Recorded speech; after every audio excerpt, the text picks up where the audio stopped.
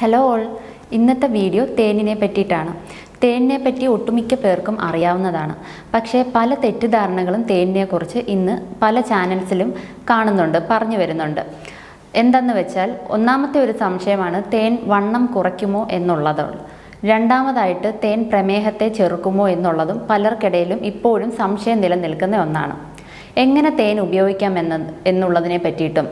അത് ഏത് രീതിയിലാണ് ശരിയായി ഉപയോഗിക്കേണ്ടതെന്നും ആരൊക്കെ ഉപയോഗിക്കാൻ പാടില്ലെന്നുള്ളതും കുറച്ച് ഹോം റെമഡീസും ഒക്കെയാണ് ഇന്നത്തെ ഈ ഒരു വീഡിയോയിലൂടെ ഞാൻ നിങ്ങളുമായി ഷെയർ ചെയ്യാൻ പോകുന്നത്.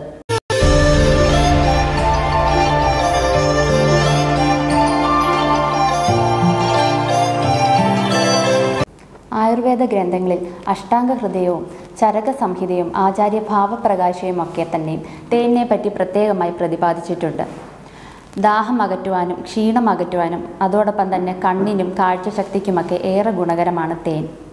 അതുപോലെ തന്നെയാണ് പൊള്ളലിനും അതുപോലെ തന്നെ ഇതൊരു നല്ലൊരു anti viral anti bacterial anti fungal property എല്ലാം തേനിനുണ്ട്. കൂടാതെ തന്നെ എന്റെ മുറിവ് അതുപോലെ തന്നെ ഛർദി അതിസാരം മലബന്ധം ഇതുപോലുള്ള പല പ്രശ്നങ്ങൾക്കും ശരിയായിട്ടുള്ള രീതിയിൽ തേൻ ഉപയോഗിക്കുകയാണെങ്കിൽ നിയന്ത്രിക്കാൻ സാധിക്കുന്നതാണ്. അതോടൊപ്പം തന്നെ ഓരോ ക്ലിനിക്കൽ കണ്ടീഷൻ അനുസരിച്ചിട്ട് അതിനോടൊപ്പം തന്നെ മരുന്നുകളും അതിന്റെ അനുപാനമായിട്ട് തേൻ കൂടി കഴുകുകയാണെങ്കിൽ അതിന് മികച്ച ഒരു ഫലം നൽകുന്നതാണ്. ഏകദേശം പലതരത്തിലുള്ള തേനുകൾ നമ്മുടെ നാട്ടിലിപ്പോൾ സുലഭമായി കിട്ടുന്നതാണ്.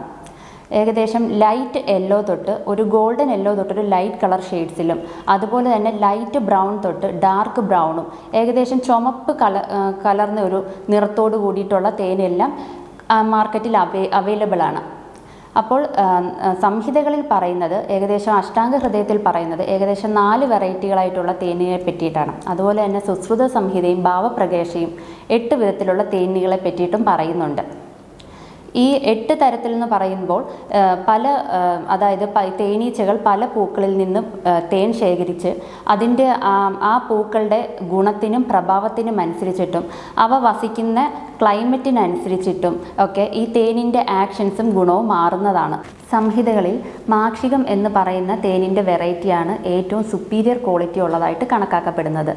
ഇത് ഒരു ചുമന്ന തേനീച്ചയിൽ നിന്ന് ശേഖരിക്കപ്പെടുന്ന തേനാണ് മാക്ഷികം എന്ന് പറയുന്നത്. ഏകദേശം ഈ തേനിന്റെ നിറം ഒരു ചുമപ്പ് കലർന്നൊരു നിറമായിരിക്കും. ഏകദേശം ഒരു എള്ളെണ്ണയുടെ നിറത്തിനോട് സാദൃശ്യമുള്ളൊരു നിറമായിരിക്കും ഈ തേനിന്.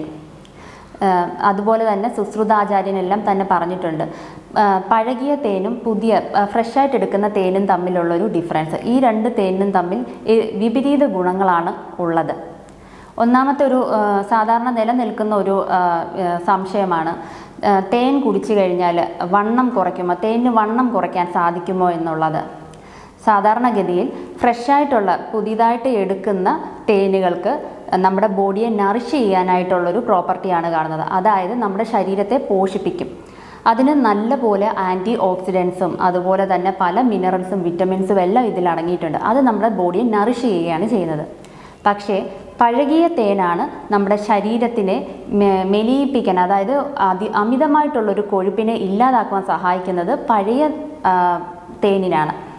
അതായത് ഈ രണ്ടിനും ഏകദേശം വിപരീത ഗുണങ്ങളാണ് ഉണ്ടാകുന്നത്.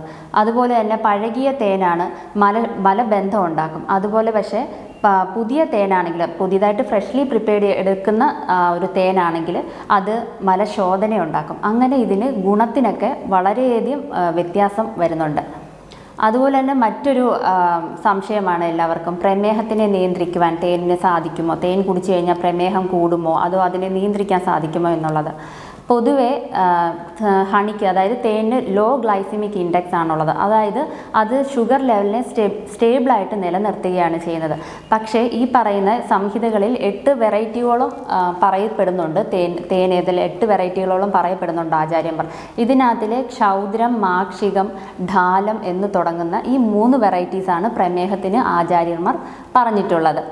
ഇത് ഏകദേശം ക്ഷൗദ്രം എന്നൊക്കെ പറയുമ്പോൾ ഏകദേശം ഒരു ചെറിയ ഒരു മീഡിയം സൈസ് തേനീച്ച ഉൽപ്പാദിപ്പിക്കുന്ന തേനാണ്. അവർ കൊണ്ടുവരുന്ന തേനാണ് ഈ ക്ഷൗദ്രം എന്ന് പറയുന്നത്. അപ്പോൾ മാർക്കറ്റിൽ ഇപ്പം പല വിധ വിധത്തിലുള്ള അഡൽട്രൻസ് ഉണ്ട്. അതായത് പല മായം കലർന്നിട്ടുള്ള തേനുകളുണ്ട്. പക്ഷേ ഏറ്റവും അനുയോജ്യം ഏറ്റവും ശുദ്ധമായിട്ടുള്ളതും ശുദ്ധമായിട്ടുള്ള തേൻ ഉപയോഗിക്കുന്നതായിരിക്കും ഏറ്റവും നല്ലത്. ഇല്ലെങ്കിൽ അത്രയും നല്ല വിശ്വാസമുള്ള നല്ല ബ്രാൻഡ് നോക്കിയിട്ട് തേൻ മേടിക്കാവുന്നതുമാണ്. പൊതുവെ തേൻ നമ്മുടെ ബ്ലഡ് ഷുഗറിനെ റെഗുലേറ്റ് ചെയ്യുകയാണ് ചെയ്യുന്നത്. ഇപ്പോൾ അത് സാധാരണയുള്ള ഒരു ആർട്ടിഫിഷ്യൽ സ്വീറ്റ്നസിനെ പോലെ ഇല്ലെങ്കിൽ സാധാരണയുള്ള വെള്ള പഞ്ചസാരയുടെ കൂട്ടയല്ല. സിമ്പിൾ ഷുഗേഴ്സ് ആണ് ഇതിനകത്ത് അടങ്ങിയിട്ടുള്ളത്. ഇതിനകത്തിൽ ഫ്രക്ടോസും ഗ്ലൂക്കോസ് അതായത് കുറഞ്ഞ അളവിലായിരിക്കും കാണുന്നത്. സാധാരണഗതിയിൽ ഗ്ലൂക്കോസ് ഒരു മുപ്പത് ശതമാനവും ഫ്രക്ടോസ് ഒരു നാൽപ്പത് ശതമാനവുമാണ് കാണുന്നത്. അതുകൊണ്ട് താരതമ്യേനെ അത് മറ്റുള്ള പഞ്ചസാരയെ പോലെ ഇത് ഷുഗർ ഉയർത്തുന്നതല്ല. പിന്നെ നല്ല നല്ലതായിട്ടുള്ള തേനുകളായ ശുദ്ധമായിട്ടുള്ള തേനൊക്കെ ആണെങ്കിൽ അതിനെ നമ്മുടെ ഒരു ബ്ലഡ് ഷുഗറിനെ സ്റ്റെബിലൈസ് ചെയ്ത് നിർത്തുവാനും സഹായിക്കുന്നതാണ്. ഇതിന്റെ ഡോസേജ് എങ്ങനെ എത്രത്തോളം കഴിക്കാം എന്നുള്ളത് നോക്കാം. ആരോഗ്യവാനായ ഒരാൾക്ക് ഏകദേശം ഒരു ടീസ്പൂൺ തേന് ഡെയിലി കഴിക്കാവുന്നതാണ്. അതേസമയം അല്ലാതെ ഏതെങ്കിലും രോഗങ്ങളുള്ളൊക്കെ ഒരു കണ്ടീഷൻ ആണെങ്കിൽ ഡോക്ടറിന്റെ അഡ്വൈസ് പ്രകാരം ഏകദേശം അഞ്ച് തൊട്ട് പതിനഞ്ച് എം എൽ വരെ കഴിക്കാവുന്നതാണ്. പിന്നെ കുട്ടികളിൽ കൊടുക്കുമ്പോൾ ഏകദേശം ഒരു ഒരു എം എൽ തൊട്ട് രണ്ട് എം എൽ വരെ കൊടുക്കുന്നതായിരിക്കും നല്ലത്. ഇല്ലെങ്കിൽ ഒരു അര ടീസ്പൂൺ വെച്ചിട്ട് കൊടുക്കുന്നത് നല്ലതായിരിക്കും. തീരെ ചെറിയ കുട്ടികളിൽ കഴിയുന്നതും കൊടുക്കാതിരിക്കുന്നതാണ് നല്ലത്. അത് വേറൊന്നും കൊണ്ടല്ല തേനിന്റെ ദോഷം കൊണ്ടല്ല. കാരണം അത് എടുക്കുമ്പോൾ അത്രയും നല്ല ഹൈജീനിക് ആയിരിക്കണം. നമ്മൾ തേൻ എടുക്കുന്ന പ്രോസസ്സ് തൊട്ട് അത് തുടങ്ങുന്നതാണ്. തേൻ എടുക്കുന്നതും അത് ശേഖരിച്ച് വെക്കുന്ന പാത്രങ്ങൾ അതെല്ലാം നല്ല വൃത്തി നല്ല ഹൈജീനിക്കോടെ ചെയ്യുന്ന ചെയ്യേണ്ടതാണ്. അങ്ങനെ ചെയ്യാത്ത പക്ഷം ഇതുപോലെ കൊച്ചു കുട്ടികൾക്ക് കൊടുക്കുമ്പോൾ ചിലപ്പോൾ എന്തെങ്കിലും ഇൻഫെക്ഷൻസ് ഇതുപോലെ നല്ല ഹൈജീൻ ഒന്നും അല്ലെങ്കിൽ ഇതുപോലുള്ള കുഞ്ഞു കുട്ടികൾക്ക് രോഗപ്രതി പ്രതിരോധ ശേഷി വളരെ കുറവായിരിക്കും. അപ്പോൾ അവർക്ക് പെട്ടെന്ന് തന്നെ ഇൻഫെക്ഷൻസ് ഒക്കെ കയറി വരാനുള്ള ചാൻസസ് ഉണ്ട്. അപ്പോൾ ഒരു വയസ്സിന് ശേഷമൊക്കെ നല്ല തേനാണെങ്കിൽ നല്ല നമുക്ക് നല്ല അത്രയും നല്ല വിശ്വാസം ഉണ്ട ഉള്ളതാണെങ്കിലും അതുപോലെ തന്നെ നല്ല ശുദ്ധമായിട്ടുള്ള തേൻ കൊടുക്കുന്നത് കൊണ്ട് കുറച്ച് കൊടുക്കുന്നതുകൊണ്ട് കുഴപ്പമില്ല. അതുപോലെ തന്നെ തേൻ കഴിക്കാൻ പാട് ഇതിപ്പം ഒരുപാട് ഗുണങ്ങൾ തേനിനെ പറ്റി പറഞ്ഞു. ഇനി തേൻ കഴിക്കാൻ പാടില്ലാത്ത ചില ഇതുണ്ട്. അപ്പോൾ അതിനെ പറ്റിയിട്ട് പറയാം. തേൻ അധികം അധികമായിട്ട് നമ്മൾ കഴിക്കാൻ പാടില്ല.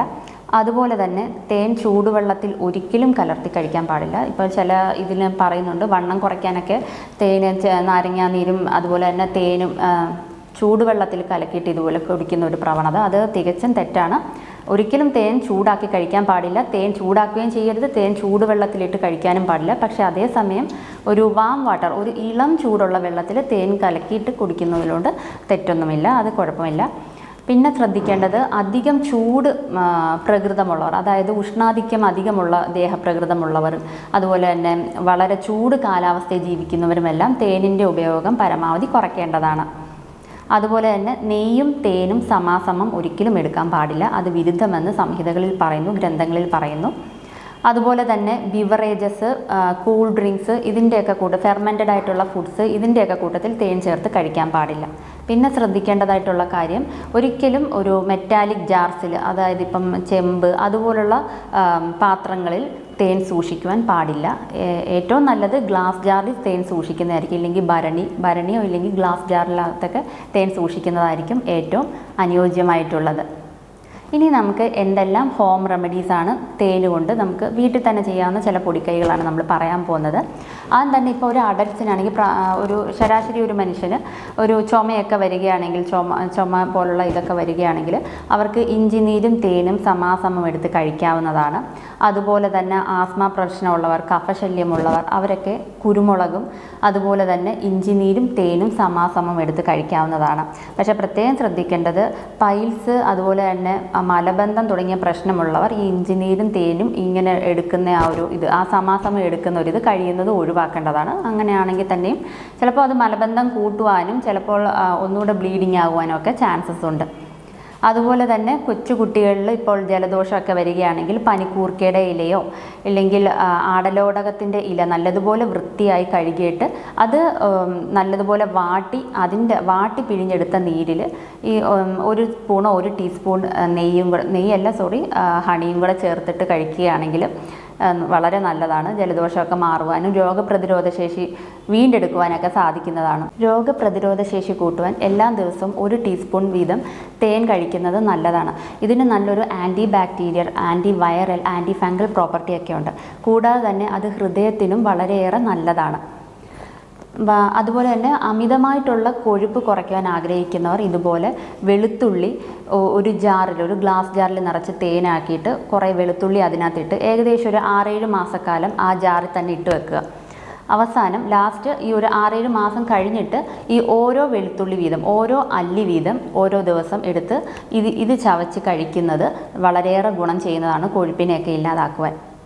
പിന്നെ മുഖത്തുണ്ടാകുന്ന കുരുക്കൾ മുഖക്കുരുവും പിന്നെ മുഖക്കുരു ഉണ്ടായതിനു ശേഷമുള്ള മുഖത്തെ പാടുകളൊക്കെ മാറുവാനായിട്ട് രക്തചന്ദനവും അതിനോടൊപ്പം തന്നെ തേ തേനും കൂടെ ചേർത്തിട്ട് ഈ ഒരു മിശ്രിതം മുഖത്ത് വരട്ടുന്നത് മുഖക്കുരു മാറുവാനും മുഖക്കുരു വന്നതിന് ശേഷമുള്ള പാടുകളൊക്കെ മാറ്റുവാൻ വളരെയേറെ ഗുണമാണ്. അതുപോലെ തന്നെയാണ് തൊണ്ടവേദനയൊക്കെ വരികയാണെങ്കിൽ ഇഞ്ചിനീരും ചുക്കുപൊടിയും അതുപോലെ ഈ തേനും കൂടെ സമം ചേർത്ത് കഴിക്കുന്നതും വളരെയേറെ പ്രയോജനം ചെയ്യും.